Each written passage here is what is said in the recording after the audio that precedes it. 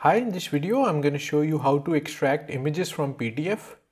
Extracting images from PDF means that we are going to take out images from PDF file and save them separately.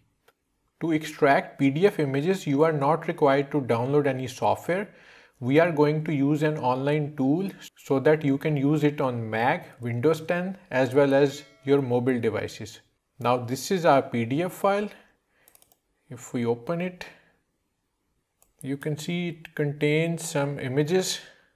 To extract images from this PDF file, click on the link given in video description.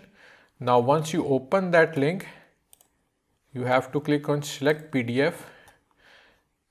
Our file is on desktop, so this is our file. You have to click on open. Now you have to click on this second option, extract images and now you have to click on convert to JPG. It's converting. You have to click on download JPG images. It's downloading. You have to open the folder.